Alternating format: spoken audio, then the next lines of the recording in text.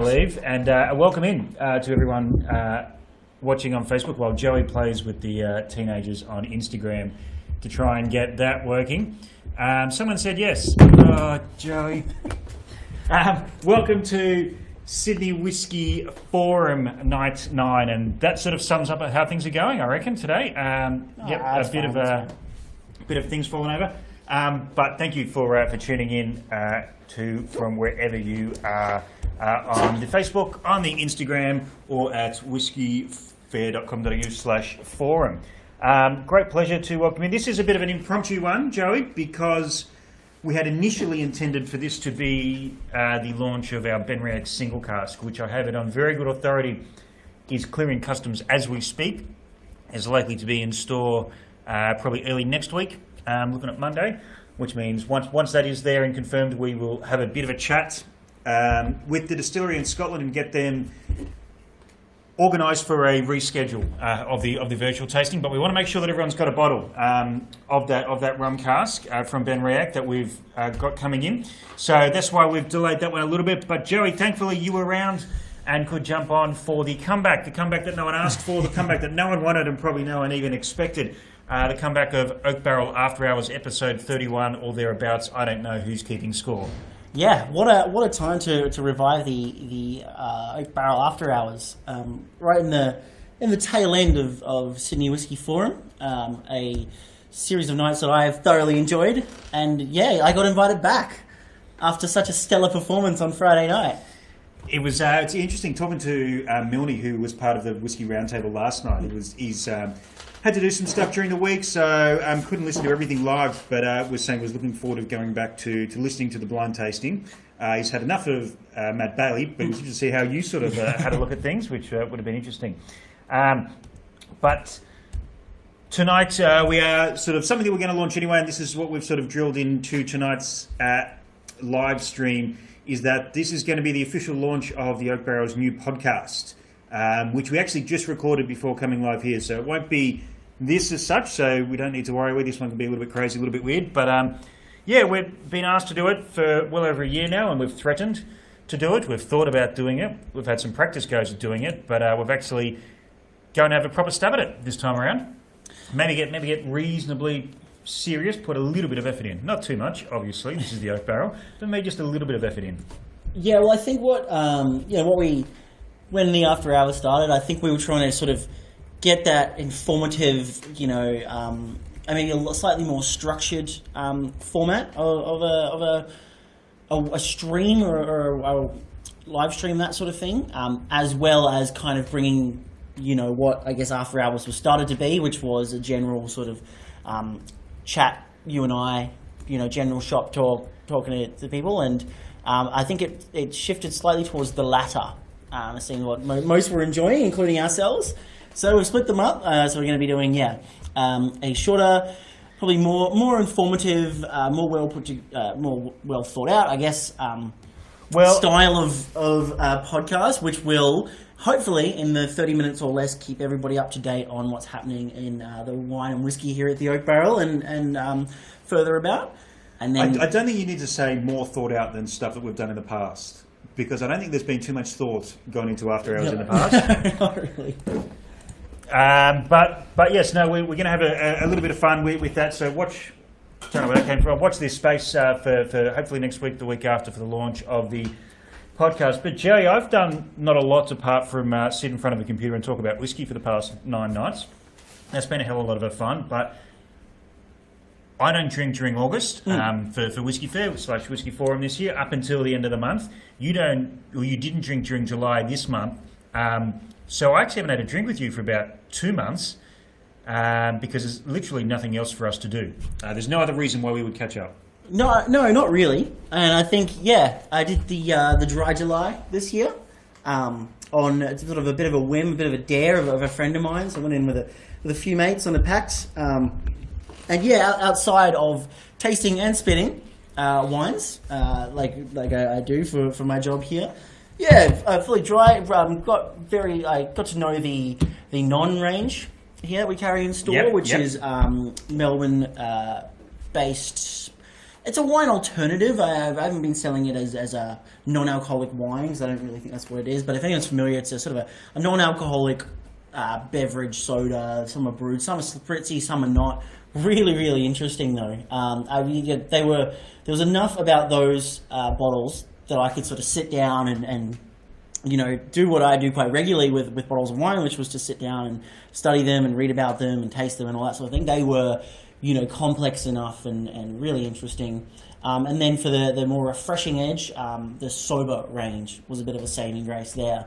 Um, so the pepperberry IPA, the finger lime cerveza, um, and the lemon aspen pilsner were awesome. And Big I fan of the lemon aspen pilsner actually. That, Yeah. that got my vote this year. it was awesome. Um, and then um, I think Heaps Normal landed probably a week after July finished. Yeah. So I'm, I'm not too well versed with the Heaps Normal yet. The heaps normal things. is uh, hands down got me through Hmm. August. Um, excellent little non-alcoholic beer. Um, you know, with a real hop structure, uh, which is something you don't find too often uh, in non-alcoholic brews. But um, you've done, very very well. Uh, g'day to, to Mike Leyland on the uh, on the Facebook stream as well, um, and the various people coming through on, on Instagram. But feel free to ask us any questions.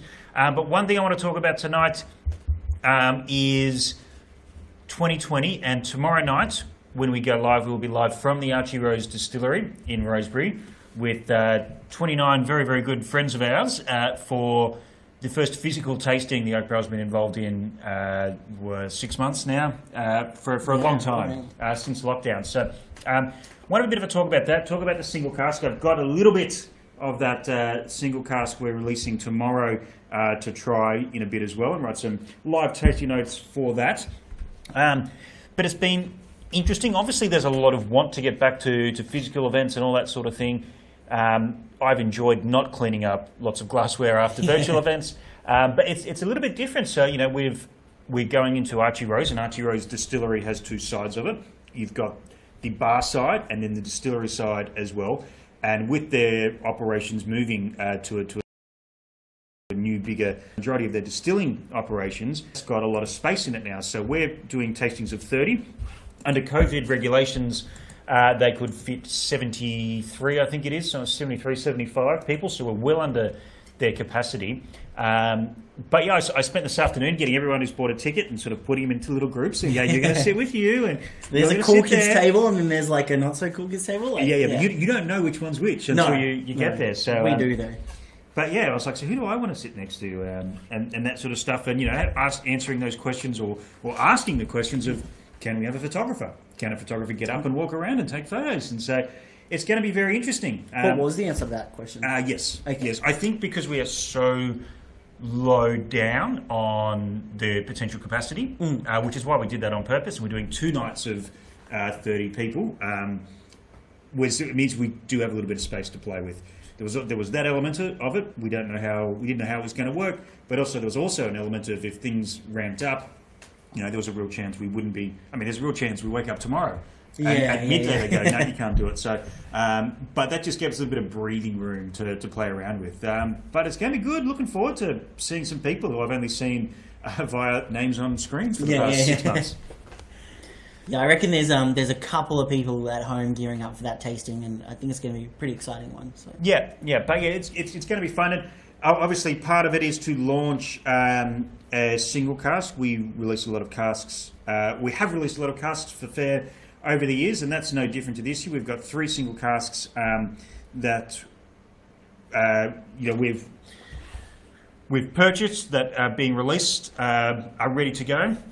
Uh, one is the Timboon Shaggers Reserve, which we launched at um, the Distillers Dinner equivalent, the virtual Distillers Dinner last Thursday. And that was one we were sort of talking to, to Josh Walker and the team at Timboon about, oh, do we do it? Is there going to be an appetite for it? Do we wait? Um, but he actually had people calling him up at the distillery. No, saying, really? I know fair's not happening. Is there going to be a Shaggers anyway? So uh, we, we, we did get some of that. We've launched it. It's, it's been bottled. That's, that's on its way to us now. Um, a BenRiach rum cask, a 14 year old, um, as I mentioned earlier, that is we should have been launching tonight, but is is sitting. Uh, I believe it is in Australia. It is. Well, the ship is docked. It's just going through the process, finding it under all the all the um, all the shipping containers and things to find the one uh, that we're looking for, uh, and then Archie Rose, which is something we've been working on for a couple of years, um, and so we're going to launch that tomorrow night, which is very very exciting because I think there's very few single casks that I've been involved in at the Oak Barrel that are as exciting as this one is. Yeah, I, I, I do. Um, not that Scott will probably appreciate me saying this. I do kind of remember um, your sort of. I'd call it almost like a like a gallop of joy through it the was, store yeah. uh, upon upon tasting this one for the first time, um, and you know that that it was at our, our access, and yeah, it was very much a a pride filled sort of spree through. Uh, if you know that from the tasting room where where um, this was probably tasted to to out the front to the front till. Well, I remember the excitement that, that coming coming from your eyes. Yeah, well, I mean, I mean, this is the thing, and it was excitement and uh, quite a lot of relief Yeah, as well. yeah. So, normally the way single cask would work, and we're going to delve into this a little bit deeper when it does come to launching the uh, the BenRiach single cask, which is now looking like a couple of weeks because now we're not constrained by the ten days of forum. When it lands, we can get it out, make sure everyone's got it, so Hmm. those who want to join us and, and crack it uh, can can do so. Um, we're going to have Stuart Buchanan from BenRiach Distillery um, talking about it, but then also um, Toledo Alves, brand ambassador, and Seamus, uh, who works with Brown-Forman here as well, to have all the different angles of how this cask comes to life. But normally, in a nutshell, uh, what we would uh, get into is we go, hey, distillery, A, B, C, we would like to buy a single cask uh, off you and bottle it for the oak barrel. And they will go, no, you can't go away. And then after a lot of begging, uh, they go, okay, we're ready to sell you a cask. And what would happen then is um, we would either go to the distillery. In Australia, we have that luxury. In normal years, we can go, we can sample some casks, look at what's going on. Um, for Scotland, the cask gets sent to us, and then you know we get another cask of samples. We might go through five or ten or twenty, go, "Hey, uh, no thanks, that's nothing fits our bill. This tastes really good." Then you have conversations about price and timelines and access and that sort of thing.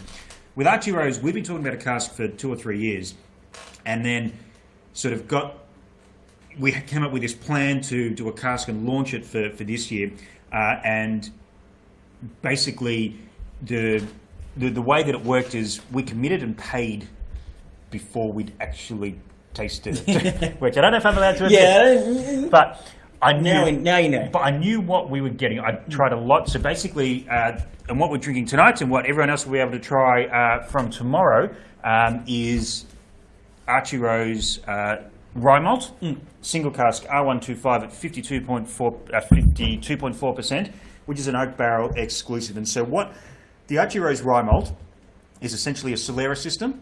So they will throw casks in it. Um, and bring it down to the 46 and then draw off each batch of Archie Rose from that Solera. So all that's coming together. It never gets emptied.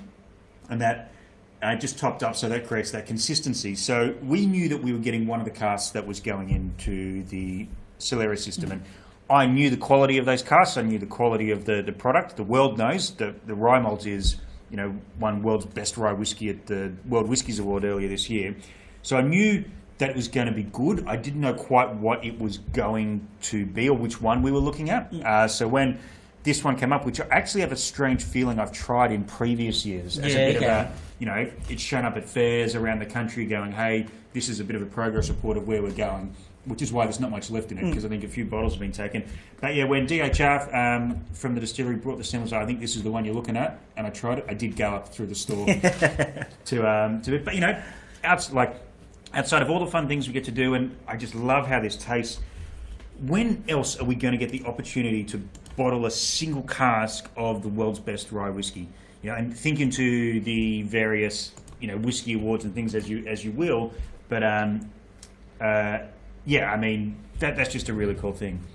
Um, quick, quick shout out to a few people on, on the Facebook here. Uh, Andrew um, is saying their San Diego rye is incredible. Um, yeah, hundred percent. We're actually going to be sampling that tomorrow night as well. Yeah, that As is part amazing. Of it. Part of the tasting is going looking at all the Archie Rose ryes. And Daniel Hooper asks, "Evening lads, how's the pen game tonight, Scotty?" And I'm No em- pens! I'm embarrassed. I'm ashamed. Uh, because we did just record uh, the episode, or what will become the first episode of our upcoming podcast, um, in another room, and the pen is sitting on the table in the other room. As we quickly moved things from one to the other, I forgot to grab the pen unless it's in my pocket. No, so it's the pen game is really lacking tonight, unfortunately. Not the only thing that's shifted to the virtual space. Yeah. Your pen game. Uh, and big, big talk on the Instagram as well, eagle-eyed people, because I have just run from one side of the store to the other, and I do keep the nip of courage. It's a long way to the shop if you want a sausage roll mug at that s- side, um, and then I keep the Blackgate mug uh, on this side. But because I was over there, I had this mug full, so yeah, in the dash, I've just grabbed this mug. So, I mean, it's all over the place. It's just it's all over the place tonight. This is what happens when we try to do two things at once, or actually two things one after the other. Yeah, yeah, yeah, that it falls but- apart. Um, exciting. Yeah, I, I just I'm excited to be around people again and, and host a tasting. I'm excited to listen to Dave Withers talk about whiskey because we all know that that is an incredible um, experience. But I'm just you know more than anything excited to show this whiskey to people. Hmm.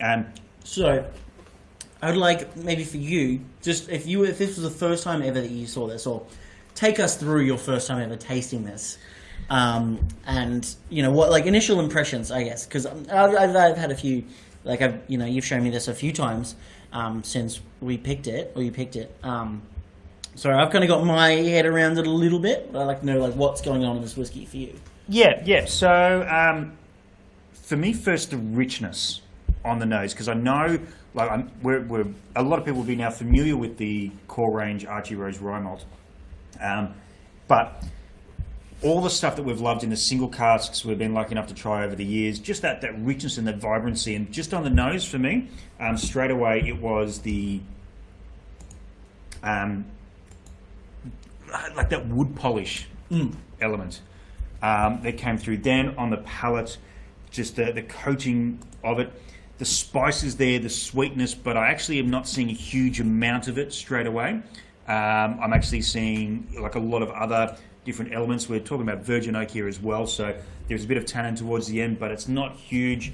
Um, then the bit that got me as I was galloping up and down uh, Beer Alley here, yelling and screaming about it, was the length and the development. It just the finish just keeps coming in waves and waves and waves. And I honestly believe, and I know I'm biased, um, and I don't care if you don't buy it because that means there's more bottles for me. And there was only 106 all up, uh, and 60 of those are gone already to the people who bought uh, the 60 tickets for the two nights. But I think this is the best whiskey I've tried from Archie Rose. Yeah, okay, I like. I honestly think big that call. it, it is a big call. Um, it would be in their top spirits I've tried.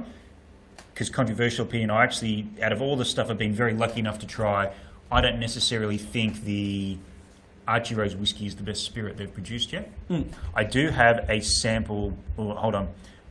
They're releasing their single malt very soon, and I might have a sneaky sample on another desk. But I, haven't, I haven't actually Okay. tried it yet, so I can't talk about that one yet. But I've heard it's excellent as well. Um, but yeah, I just I just love the waves of this. I mean, tell me, tell me what, what you think. You, you didn't drink as much whiskey as me. You're not as emotionally involved, let's say, with this No, whiskey. no. Um, I, I like. I do feel like a slight, like a, a, a, a slightly emotional involvement. I think, um, as I do with every, um, you know, cask that we've bottled since my time here, which has been some amazing whiskies. Um, but like, this is an interesting one. So, Like I- that that wood varnish, like you definitely get, but it, it's it's an, it's an interesting whiskey in the fact that I feel as though the nose is quite enticing but restrained. It's something that I sort of maybe touch on like a little bit when I when I taste wines, um, but it's you know not really giving away too much because then on the palate, like you said, that's just those waves that come through. There's like there's this creaminess, there's this richness, there's a lot of that um, butter and spice. There's a lot of Christmas cake, but it's still quite dry. You know, it, there's a, there's a lot going on, and but it doesn't feel messy in any sense. no, You, no. you like I've tasted whiskeys and I've tasted wines, especially that everything comes at once, and your palate just freaks out. You don't know what's going on. Oh, am I getting this? I'm getting this? This is quite like in order. If that makes sense. Yeah, yeah, uh, yeah, it does. Um, I mean, one of the things that is important to remember is is the rye malt is it's not a classic American Prohibition era rye. You know, the rye is malted, um, Right. Which is, which is a, a little bit different to what the American distilleries. And I almost think that the the core range rye malt is like a rye for Australian single malt drinkers. Um, not necessarily a, a rye for rye drinkers, and you know, you put this next to the single cask from Gospel Rye down in um, uh, Victoria. That even though they're using Mallee Rye from you know the Mildura region and around there in, in Victoria, northern Victoria, um, even though that's Aussie grain, it still tastes a lot closer to a classic rye sort of style. Yeah. So this is sort of a development of that. It's like I, I don't almost know where to put it in some points. I think I think the nose on this. Um, I, I disagree a little bit on what, what you were saying there.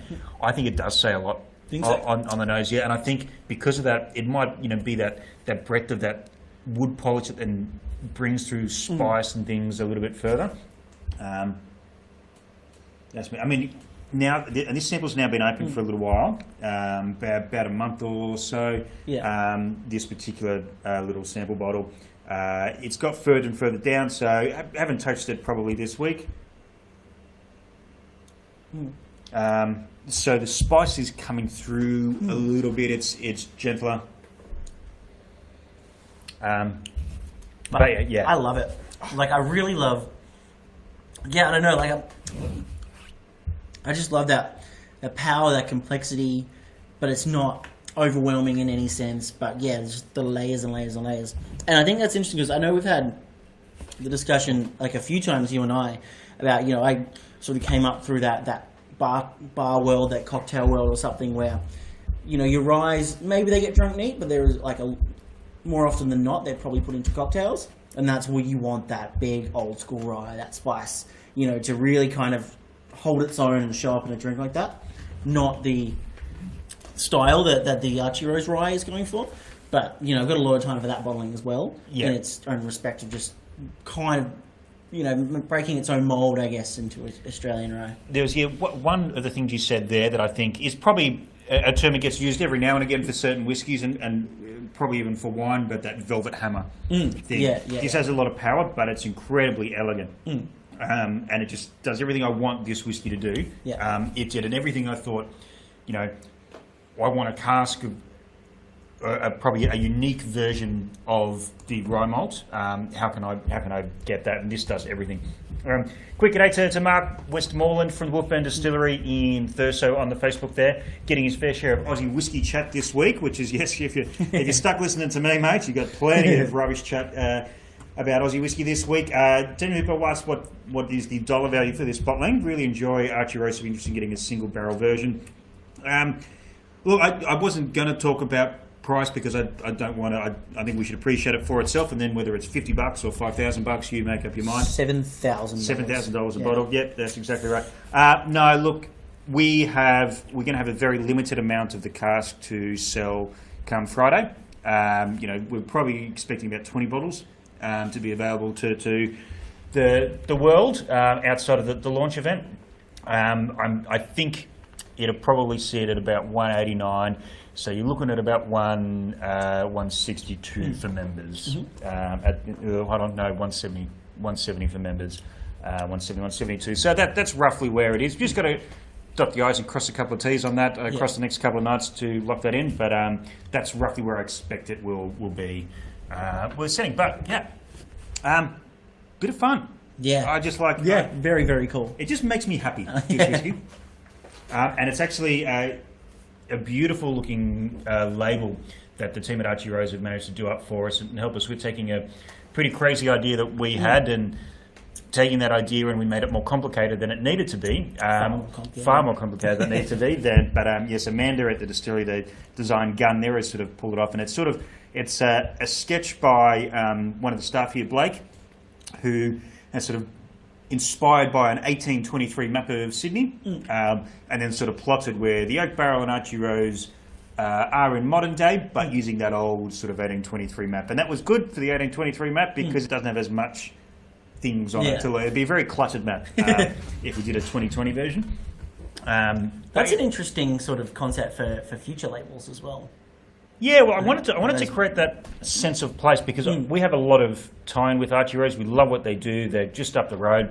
Um, but as a, a few people are probably aware, Dave Withers is my predecessor here at the Oak Barrel. I, from when I was 18, 19 years old, I was sitting in the tasting room listening to Dave tell me about various types of whiskies and spirits from all over the world. And so when he was poached by Archie Rose to go across um, and start the distillery, he's been distilling there since the start.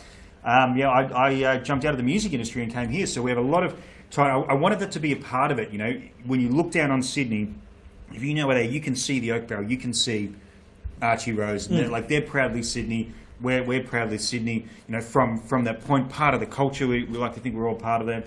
Um, so yeah, a lot of a, a lot of great things that are um, happening. And I think that um, yeah, I think they nailed it. Um, and yeah, again, thank you for taking a, a complicated idea that we made very difficult and making it work. I'm good at that. Actually. yeah, yeah, Yeah. taking uh, simple uh, concepts and making them complicated. Yeah, yeah. Um, a quick day to, to Mark Teague as well, uh, who was a superstar. You might remember from the blind tasting that you were involved in, Joey, Uh, yeah, I do. I do remember actually. picking bloody uh, painted Nantou? Nantou casks. Yeah. Jesus. I Um, didn't, I didn't know what that distillery was before that tasting. So Yeah, uh, a quick g'day to Whiskey Wine Hustle, um, who uh, comments are enjoying the story behind that behind that cask. And yeah. Yeah. it is something that we looked at a couple of years ago, and we were going to do it last year, um, and it would have been like the second or third release of the rye, but. Hmm. Wouldn't have been a, we wouldn't have been able to get a cask like this at the time, and it was going to be rushed. We probably weren't going to give it the treatment it deserved. Um, yeah, we had a bit of time on our hands to think about things Yeah. during during lockdown, so I, I think we've, we've done it. Uh, I think yeah, I'm, I'm pretty. As I said, I'm pretty proud of this one. I've been very very lucky to be involved in a lot of great bottlings and single casks here, but this is one that I, I'm just sitting back from everything from what it means to what it tastes, and then seeing the, the physical product. Um, what I haven't seen is a lot of them next to each other, which I'm going to get to see tomorrow. Yeah, that'll well. be You know, exciting. there's, there's always an element of you know I still get excited when a big order comes in and you see like. 10 boxes of Glendronach and you go, Yeah, okay, yeah. that, that's cool. Like, Yeah. That's really cool. And one is, is seeing all those single casks lined up. Remember one of the last tastings, two nights before um, lockdown, we had the? BenRiach Oh yeah, yeah. uh, cask strength batch two, which everyone who came to the tasting with Stu Buchanan got a cask of, and just lining up 50 of them. Just Yeah, looks cool. yeah. So that's the one thing I haven't seen yet is just all the cars, all the bottles in a line. That's the last thing I'm looking forward to seeing. Um, but yeah, uh, we're going to try and live stream that as well from the distillery. Mm, that'll be cool. Yeah, sounds difficult. Yeah. but we'll Again, out. taking yeah. something very simple, Yeah, yeah, making it it. as hard as we can. Yeah. Um, a question I did have about this as well is because it's something I think about a lot. Um, you know, since Friday and trying to draw those ties between whiskey tasting, wine tasting, and all the rest, and um, everything else that's been going on with Forum. I've, been sort of making um, translations in my head of, of between whiskey and wine and that sort of thing. Something I, I think about with wines all the time is how and where and why would you drink a bottle of, you know, something? How and where and why would you drink this? Is there something that you're splashing around with mates, you know, at a barbecue, or is it, you know, one or two people quite intimately sitting by the fire, like something like that? Yeah, Um, I, I think this is a this is a big whiskey. It's quite brooding. Um, you know, the, some of the things that you uh, you know were talking about. Just it for you, it needs a bit of time to show its complexity. This is a bit of an occasion whiskey yeah, okay. uh, for me. Th- This is something that uh, old friends, you know, but it's a real conversation enhancer. You, you know what I mean? Like it's where you're settling in at night or around a fireplace, or you know that you're going to be, you know, in that spot for a couple of hours. Yeah, yeah. yeah okay, we, we're going to. Inevitably, we don't know what we're going to talk about. But we, we're Let's probably going to be. We're, we're probably going to be talking Yeah. for a couple of hours, just about whatever, whether it's important stuff or just you know catching up. I think that's when I'd be like, okay, well, we're settling in. Let's let's Yeah, bring this yeah, out. Whereas you know the Ben It does Riach feel like that. Is all about fun. It's almost the complete opposite. Yeah, yeah, yeah. That is that is a party whiskey. That's like it is. It's a rum cask. It's got that sprightliness to it. It's um, you know it's a bit all over the place. I think there's probably slightly more going on than in this, but what you were saying, you know, cluttered and messy and all out of place. Mm. Yeah, hundred percent. And that, but that's what the Ben is. That one there, in that case, for me, is. Hey, you just having a quick one, or you know, someone pops in the store. Oh, you know, just have a quick Try one. Yeah, this. Try this. Yeah, Yeah, yeah. So that's that's how I would. I haven't actually thought about that, but that's where I'd put them. Yeah, well, is, because I think the conversation we were having the other day, um, I was it. It w- w- might have been this, or it might have been something else that we were talking about. Um, I was saying with the absence of absence of fair, um, you were like we always saw those ones that did quite well at fair. Um, purchase wise, were those ones that were massive and huge and stood out because if you're in a room with eighty odd whiskies or something like that, and you're yeah higher, um, and you know you're trying to hit uh, you know, more like more than a few.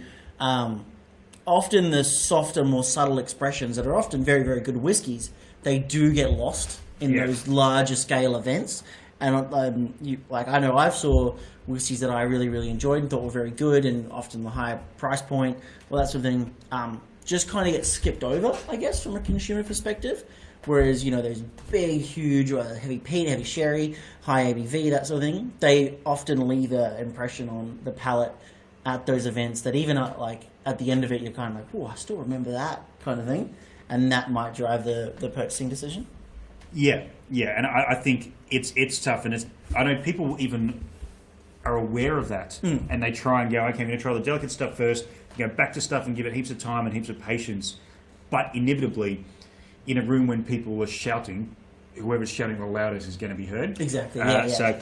You know that's it, but you know it still is a big whiskey. You know it's fifty, I forget exactly, fifty something percent. Um, uh, the the BenRiach, it's and it's not a um, you know, it's not a subtle whiskey by any stretch of the imagination. And you know, I think that it might have been this we were talking about. I'm not sure. yeah. Um, but yeah, it's um, it's fun. So yeah, I think that this would almost. I think this is almost a little bit too.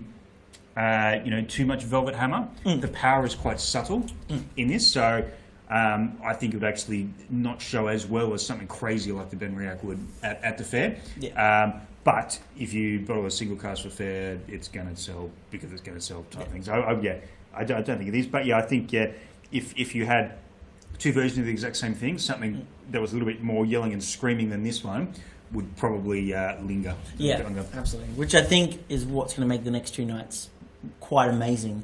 Is having a, a like you know, thirty plus, thirty on the dot whiskey lovers in the same room, being able to sit and just appreciate. Yeah, You know, rather than uh, the hustle and bustle, which is great too as well, but um, just different styles. yeah, hundred percent. Um, Vanilla Strat has come through on Instagram and said, Scotty rightly says to look to the future of whiskey rather than lamenting the past. There's a great future whiskey moment, Archie XOB. Yeah, hundred percent. Yeah, I, I'm, I'm a big So I think fan. that, yeah, great comment. Um, and g'day to Chloe Wood from McGladdock as well on the Instagram there. Um, but that, that's a great point. That's something that we've always done. We um, we like to look to the future, uh, and you know you've seen it in all our releases. Uh, you know that's a, a lot of what we've done in the past, and they're often informed by that. Yes, we do bottle some old stuff. You know, we bottled one of the last casks of the old Southern Coast Distillery. Um, you know, we, we bottled, you know, a big, you know, sherry um, butt from Glendronach a few years ago, but that was from the modern era of Glendronach. Um, it's certainly what we're doing with BenRiach. When we did the, I don't know if you remember the 97, the twin 97s, Yep. which was a Ben Glen Nevis and a Glenrothes. Yep. And they were very ugly, gritty, diesely whiskey. I particularly the love Ben those Riach. whiskies. Yeah, but that was almost a reaction to, you know, everything getting put into Australia and what the market was trying to drink then was all very pretty and very elegant and that sort of thing. Very clean sherry casks, you know, very um, refined smoke. And that thing was like, nah, let's bottle Ben Nevis. Like, let's do it. Um, so, yeah, I mean, that is something that we, we try to do because otherwise, you know, there's an element of trying to make smart business decisions, but there's also quite a strong element of getting bored. Yeah, and when we get bored, we tend to do silly things. So, um, yeah. So when's the next wine you're bottling? I want to see what that looks like. Yeah, yeah, we'll, we'll figure something out, I think. Um, Not a huge I mean- of grapes around this year, though. yeah, as, as I'm sure podcast um, listeners will find out that uh, there is a lot of good wine already being bottled. Yeah, yeah, yeah. and I'm just trying to keep up with it Yeah, at the moment, uh, let, let alone go and find some, Well, some more. that's slightly different. Like if you go and buy a single cask of whiskey, and classic example is I just trusted. I didn't tell Dave what I wanted. I trusted that Dave would be able to pick something out awesome. He's done all the work. Is there an, like an element with wine? If you rock up to wine and said, "Hey, can we make an exclusive wine?" They go, "Cool. What do you want?" Then you have to make it. And like I, I think there's a real uh, benefit of having people who know what they're doing make yeah, products. yeah, yeah. Um, no, I, I've you've been in a few discussions here and there. Nothing, nothing too serious, but I've heard sort of stories of, of conversations going down that track of going, let's do an exclusive wine, to this and that, um, and then proceeding with, well, yeah, and then six weeks to eight weeks worth of very, very, very hard work, whether it be in the vineyard or the winery, um, to sort of get it to to fruition. Um, which I wouldn't be wouldn't be against. Uh, but yeah, it's, it's, when I got a bit more time on my hands. Yeah. Um, but it has been a busy week in both whiskey and wine departments. It sounds sounds like hard work. Yeah, it does. Um, spe- speaking of which, um, you know, the, the worlds of wine and whiskey are always very interlocked when it comes from you know, particularly with barrels and that sort of thing, and that's going to grow. So I should probably let you talk a bit about wine today. Um, unfortunately, but you know, I'm not going to lie. After you know ten nights of some pretty big whiskies, there is an element of me that wouldn't you know mind a little bit of fermented grape juice, and maybe a bit of acid or a bit of citrus or Yeah. something to, to cut through. Um, yeah, I mean, we did. Um, I mean, I know I did um, on Friday night after the the uh, society blind tasting, which was a lot of fun, uh, mind you, but um, not as as an experienced cask strength whiskey drinker as as probably some of the other people on the call there. Um, immediately went straight to the fridge and grabbed a bottle of Clare Valley Riesling just for some freshness and some acidity to bring my palate back to life because trying to pick was a 21 year old single cask Laphroaig Yeah, to, yeah, yeah, to yeah. finish on. Just So, like, ash. yeah, I think so. I think so. beautiful, but just ash. Um, yeah, so I do, I do have a wine tonight. Um, a, a- a really, really fun little wine, and something I've been enjoying re- recently. But more to more to spur the conversation Yeah. on on wine and what I've been doing recently. But I thought to um, to spur tradition a little bit. Uh, the very first Oak Barrel After Hours was a wine from the great region of Orange out in western New South Wales. Beautiful part of the world. I think we've done a couple more, and we've certainly mentioned it. Um, I don't think it counts as an after hours if Orange doesn't get a mention. yeah. Um, but uh, I thought I'd yeah for the return um, just to bring a, a fun little wine back. Um, this is a Pinot Gris from Nashdale Lane, uh, based out in Orange. There, a really cool little producer that I've recently stumbled across. Been about it for for a little while now. Um, but yeah, sort of trying to look all, all across Australia and yeah, then come back to Orange and um, just come across it. And again, it Pinot Gris. Uh, we all know it, or, Pinot Grigio. It's it's Italian uh, equivalent that we also make here in Australia. Um, really light, really approachable styles of wine. They can get quite serious and quite complex, um, and they can also be really, you know, floral and, and fruit driven um, made in a, a variety of ways across the world, from uh, the really steely, acid-driven, intense um, uh, Pinot Gris from Alsace, the yeah fresh fruity uh, Italian ones, the, the variety we make here in Australia, um, and I, I, I dare say like I reckon I've probably featured very very few Pinot Gris. Um, Yeah, I'm whether sorry- it, whether it be on the after hours or whether it be in other virtual uh, content that, that we've produced in the last six months, it, I'm just actually trying to remember the last time I had a Pinot Gris full stop. Yeah. So that, so that that was kind of it, and I mean, without bad mouthing it, like a lot of the ones, a lot of, I guess, wineries that we see or something like that, they're really, really, really proud of their Pinot Noir or their Chardonnay or their Cabernet might be amazing, or you know, even they might do a Sauvignon Blanc in barrel and, and leave it on its lees for a while. Um, the sparkling might be great. It, I think it's very rare that you speak to a winemaker, you speak to a a vineyard owner of, or operator or anything like that that is really proud of their Pinot Gris. like, and no, no, not, not in a bad way, but it's always like, oh, you know, we've got the Pinot, we've got the Chardonnay, we've got the Cabernet, and we've got a Pinot Gris planted out there as well, if, you know, you like that. It always, at least in the last sort of five years, has kind of been like that. You know, you either order it from the table because you're not going to offend anybody. Yeah. You know, you give it to someone that you don't know what they drink because Pinot kind of goes either way. Some can be really wishy-washy and you know whatever. Um, they can be quite intense. The other, well, actually, I'll just yeah. So that's anyway. Uh, so I tasted the, the Nashdale Pinot Gris a few few months ago, and I wouldn't say it was necessarily skipped over in the lineup or anything like that, but it was you know given as much attention as we give all the other wines when tasting. I just remember it really standing out. Yeah, okay. I think there's like a day that it spends on skins, not to give it any color, but just to sort of bring out that texture. Um, all the notes and sort of all the all the tasting notes and winemaking notes sort of read like, well, that actually, you know, we're, we're really looking at this in the winery, really giving it a, a go.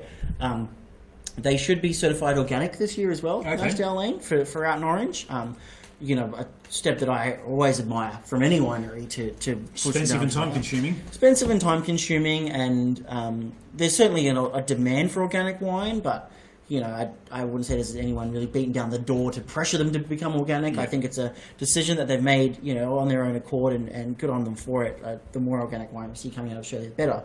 Um, but yeah, I just remember really being quite take back, tasting it, really appreciate it, and since then I've kind of gone, yeah, I feel like a Pinot Gris. Yeah, I mean it's it's a 2020 vintage. I can see it on the back here. Mm-hmm. Fresh, um, like almost like crunchy minerally on the nose, Yeah. and then just really soft on the palate. Um, you know, obviously I like to use the word term soft on the palate across everything. It's something I probably ever use quite a bit. Um, but I, I do get that element from this, um, and just really, really sessionable. It's super pleasing, which Yeah. I, I really like. You know, I, I do feel like there is an like a, a, an expression of terroir in this as well. I do kind of get that that cooler climate, that real sort of mm, like um, mountain breeze, freshness towards it. It's acid driven. It feels quite lively. Does carry that sort of green apple citrus fruit in there. Um, I think it's really nice. Aromatic and and has a lot of depth to it as well. Uh, but it just it was it was one of those moments, and you, you sort of have them every now and then. You sort of take them back and go, I don't I drink more Pinot Gris? Yeah, and Like- but why, why, why does? I mean, we know why Chardonnay. Hmm. You know, the big '80s, early '90s, hmm. big buttery, really oaky sort of elements.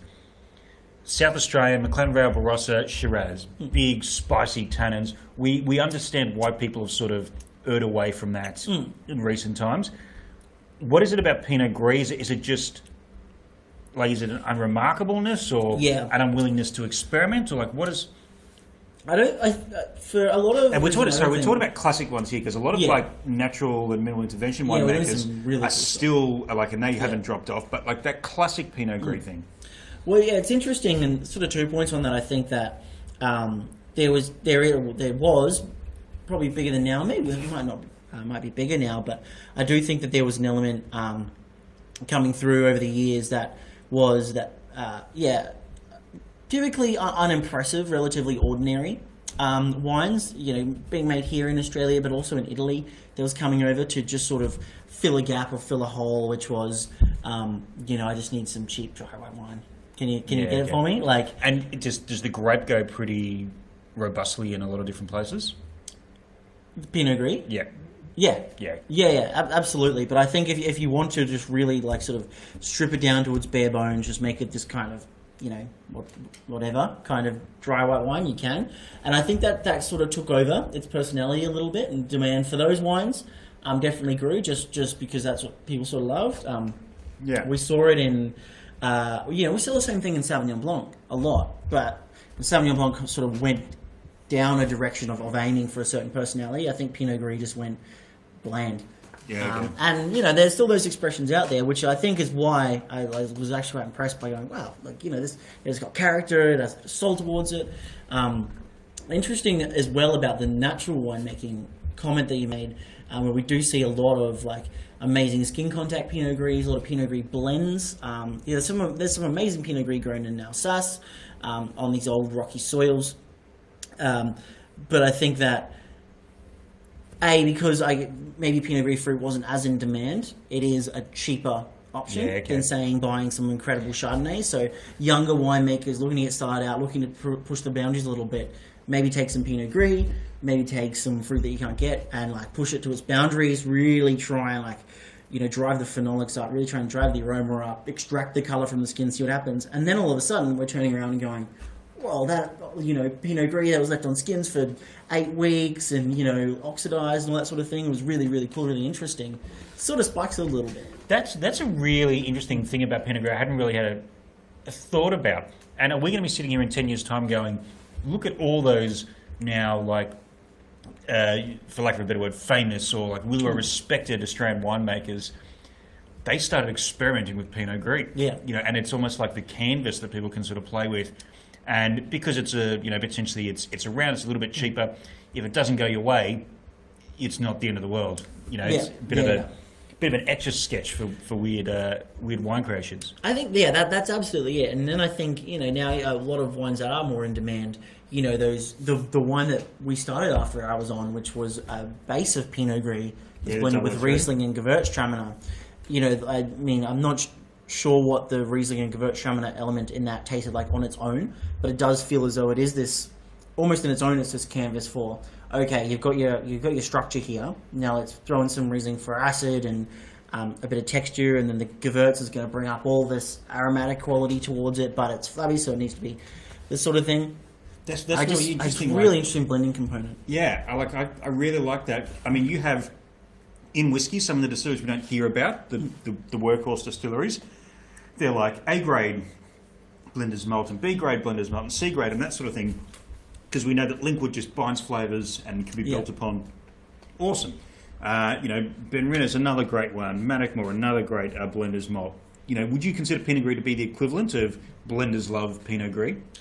I wouldn't say that necessarily. Okay. Um, just because I don't,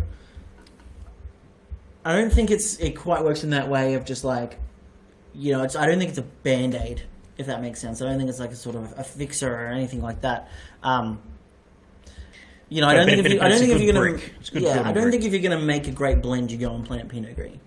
You know, I think okay, that you okay. kind of work with what you got. It just so happens that it works really well on these aromatic white blends. I mean, maybe if you were if you were to set out and go, I want to make a really really good aromatic white blend, I would think you would probably have some parcels on Pinot Gris if it suited the the, the terroir. Yeah. Um, but yeah, again, it's almost like super pleasing. You know, it, uh, enough to keep me entertained and, and intrigued, and, and so that, that's hard. It's getting harder and harder to do. Um, Um, just on that, then, um, you know, people experimenting with, with wine and maybe taking some varietals and doing things, weirder things with them, or in the case of like the Nashdale we're drinking here, just taking a grape and actually trying to, to make it the best of what it can be. Do you see the future of that sort of experimentation and that playfulness coming in blends or in single varietal uh, expressions? I think.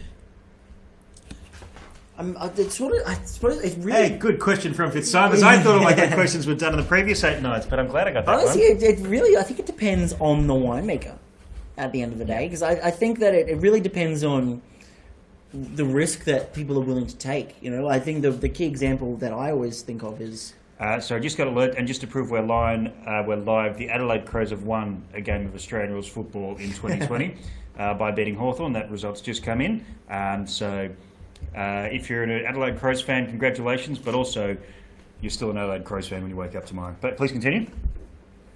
Yeah, so you'll, you'll learn a real sport one day. Um, but no, like the key example I always I always sort of look at is, and you know, uh, there's always debate on, on whether it's really wine or anything like that. But it's Sam Smith from VHS. Um, I know one of his wines came through, and the first, I think probably the first time I ever tasted the variety was um, the um, the uh, number two. I can't remember. It was, uh, not intermission. There was, there was. He was releasing a series of wines. He had one, two, three, four, five. Um, number two was Slankamenka Bela. Yep. Yeah. Yeah, that's, that's yep. I, yeah, know what that is. Yeah. And I'd heard of the variety. I'd never tried it before. I didn't even know he had it in Australia. Um, and it was straight Slankamenka Bela. I think it had some sort of crazy infusion that he put with it. It was tobacco smoke. It was aged in something weird. It was um, acidified with something. It was it was crazy. But I just remember going like, I've never seen a straight Slankamenka Bela. No. And I still haven't. yeah. I know it's down there, and I still haven't seen it. And yeah, maybe it does. The portion of that does go to blends, but it's either your big risk takers like that that are willing to go and bottle a straight Slankamenka Bela and put it onto the market, or is it let's just test the waters here? Yeah, I see a lot of people now um, blending things with Nebbiolo, blending things with Barbera. Maybe not necessarily releasing a straight Nebbiolo or a straight Barbera, but they are willing to trial it in with um, things like Pinot and Shiraz and that kind of thing. Um, just using it for maybe it's more prominent aromatic or structural uh, components to bring up maybe a wine they're more used to making.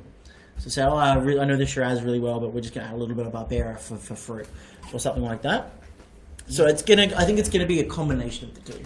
Yeah, I would love to see. We are um, we're bringing after hours back to, to fill a gap here in Sydney Whisky Forum, um, but we all also are launching our new podcast uh, tonight, which we recorded just before coming live here. We might take some snippets from this as well, but I think there's real scope for you to like as these new alternative, what we call alternative varietals come through.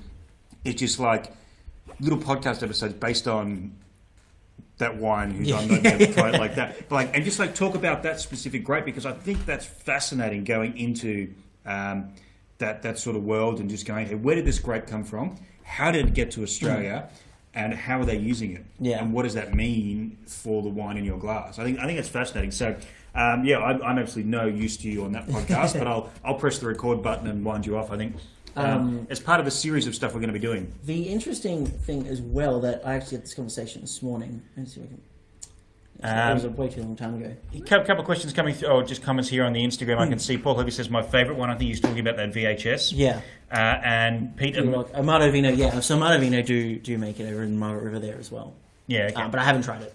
Yeah. I tried their Trusto though; it's very good. Well, mate, get, get your act together. And what have you been doing all week apart Uh, from when the oak barrel trying? was flying me over the Margaret River, Yeah, and we only trying like the, the fifty new wines in store today, Yeah. whatever it is. Um, Um, the other reason that I chose this as well was because I had a really interesting um, conversation this morning about you know in the the the, the word that can't be mentioned the the the c word the c o v i d word uh, yeah, yeah.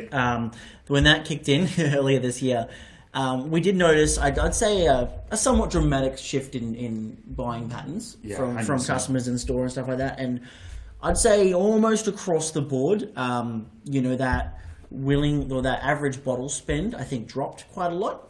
Um, and there was different variety to variety. I mean, I know that that you know thirty or forty dollar bottle of Shiraz turned quite quickly into a twenty dollar bottle of Shiraz. Yeah, and yeah, that- Um, same with, with the Pinot and, and Sauvignon Blanc, Chardonnay, all that sort of thing. It definitely it went down a little bit. I don't know why, and I did run the figures on this the other day. Pinot Gris went up. Is it because it's Old Faithful? Because I know what I'm going to get, and in these trying times, I need at least one thing to be stable in my I, life. I, I think so. So we were trying to we're trying to figure out because I don't know why, but for whatever reason, you know, Pinot Gris that we sold here through the shop anyway, and like outside of those probably more exotic natural expressions, your your run of the mill Pinot Gris and Pinot Grigios.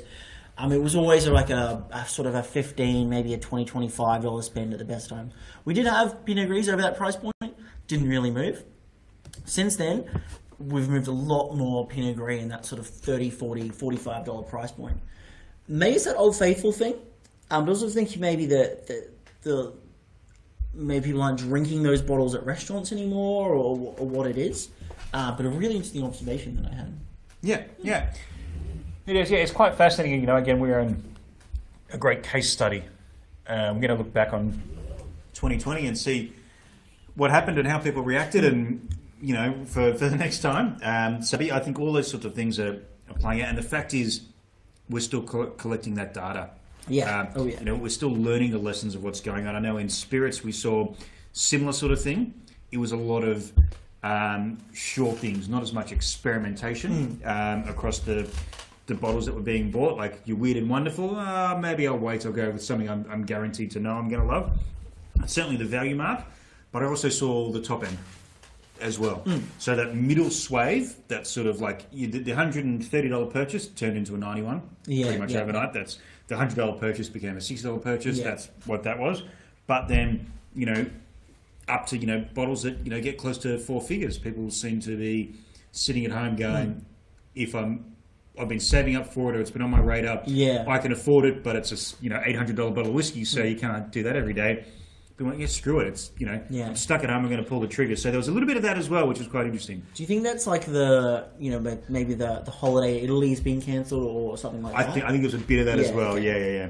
Um, I was I was meant to be in Scotland or Japan right now. yeah. So you know, so I'm just I'm dragging it to me. yeah yeah fair enough fair enough. Um, but and I think that's the thing. There's everyone was in a different position. Everyone's Mm. reacting a bit differently, so it's hard to make you know too overtly general uh, Yeah. statements about everything. Um, Um, we are about an hour into this uh, tonight, so just beware. Instagram I think we're about five minutes away from Instagram saying you're done. Um, we did actually have a question come through from Vanilla Strat, which says, "What's the next exciting white grape variety in Oz that producers are doing cool things with?" Um, which is, yeah, it's, it's that's a pretty loaded question as well. I think. Um, I'd say there are a few safer bets in terms of, I mean, doing cool things with. I, I like the uh, tail end of that. Um, so it leads me to say things like Chenin. Um, Yep. I, think I like that. I like some that answer. really, really, really cool things with Chenin from, um, you know, James Erskine has been doing it for years, and his Chenins are, are, are amazing too. Um, the stuff from, from Rob and Jen out of Corymbia in the Swan Valley, we, we had them on a stream uh, last week, um, and last the week before last. Um, and their their Chenin are like very different to maybe some of the quirky, more nat- more minimal interventionist styles. Still very minimal interventionist in their own right, uh, but really precise, really clean, um, but also changing a lot, um, a lot to give. I was going to say, well, like, which one would probably we'll see more of and grow the most. Um, there are the easier bets to go, say things like Vermentino. I think we'll see a bit more Fiano, um, yeah, let's see more Oh, Fiano. Verdelho can make a comeback. Um, if they're done right. Again, I think a lot of these varieties, especially like Verdelho from Out of the Hunter, maybe lost its its grip on the market a little bit with this sort of uninventive, maybe unimpressive expressions that came through. It tended to be a bit bit light on and not too interesting. Um, but yeah, I would love to see um, Malvasia. I'd love to see a Rinto. Um, you know, these ones are I'd say a little bit further off, but uh, again, yeah, some Alvarino would be really really cool. Um, Gruner Veltliner, there's a bit of that coming around as well. Um, those I don't think will be as popular, but equally as exciting. Yeah, well, I mean that's um, that's something exciting to look forward to. And you know, as we were saying on the podcast we recorded just before coming live here, it's spring. It's day Yeah. one of spring. Summer's around the corner. Summer gets earlier and earlier. So you know, arguably, people who, are, who tend to be quite seasonal in their drinking habits might be reaching for these whites a little bit earlier this this year. I mean, yeah, yeah, I think so. point. And as we like, we were sort of discussing on the podcast, not to take too much away from um, that listening experience, but I think it's going to be a combination of a the consumer maybe wanting to give things a go, but also um, people like you and I that are like, hey, try this, give this a go, like. Um, you know, try like give it like we've had seen success. We've done the Chalmers Vermentino on here before, and that's one of those bottles where it's like give it a go, see how it is, and then almost 100% success rate on um, people coming back and either telling us how much they enjoyed it or buying a few more bottles or anything like that. So yeah, Awesome. Well, I mean. Uh, we might we might wrap up on the on the Facebook shortly because we, we've hit that hour mark. Um, Joey, thank you for joining me tonight as a, as a late ring in, probably a week earlier than we're going to kick after hours back off, and bringing the energy levels uh, because it, it has been a, a long week. Um, cannot wait for tomorrow to get in uh, in a room with other whiskey lovers and drink a bit of whiskey at Archie Rose Distillery. It's such a beautiful place. Um, we'll be drinking, uh, launching the new Archie Rose single cask that we previewed uh, earlier tonight. Um, so that's going to be a lot of fun uh, for the, the wrap up night of Sydney Whisky Forum 2020. Um, and thank you. Uh, yeah, for, for doing that, and, uh, and thank you everyone for, for watching. And we, we might go live uh, back again on, on the Instagram, but we might wrap it up there on, on Facebook. Uh, final thoughts from you? Um, yeah, not bad. Yeah, not- not not bad bad. drop. This this this Roseberry Distillery I've heard a Not little bit little about. drop. The kids Yeah. are all right, I think. The kids Yeah. are all right. That's my hot tip for 2021. Australian whiskey Australian whiskey. could be could be popular. Yeah, invest in it Yeah, yeah 20 years ago. Um, all right, guys. We will again. Thank you, thank you for uh, uh, your questions and your comments and everything. As uh, always, it's very, very much appreciated. Um, and it's always nice to do this with other people because we would be doing this by ourselves, uh, regardless if you guys weren't here. Um, anyway, so but yes, for those of you we're going to see across the next two nights, we are looking forward to that immensely. Um, but this is going to keep rolling. We'll, we'll see you each week. And um, yeah, thank you for joining us for the podcast launch uh, and we should have further details of uh, when that is polished up into something resembling something that someone who knows what they're doing had a hand in, uh, which is definitely not us. We uh, someone else, a professional, we're going to uh, to get involved. But thank you all, uh, and we will see you very soon. See you then.